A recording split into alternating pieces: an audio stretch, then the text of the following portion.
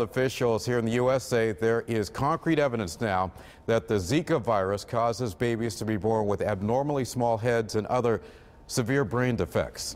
The findings by U.S. experts confirm what doctors in Brazil have suspected. Zika is primarily transmitted by mosquitoes.